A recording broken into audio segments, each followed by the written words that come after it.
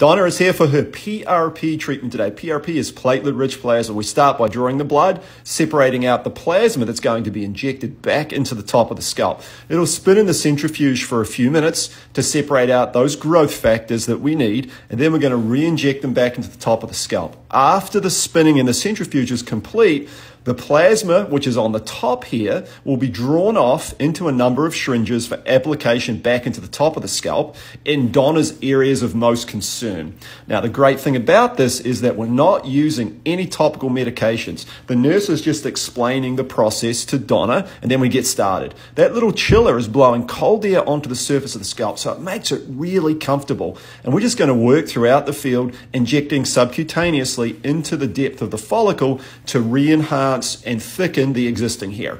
Growth factors help to prolong or lengthen the growing cycle of the hair follicle. About 45 minutes and you're all done.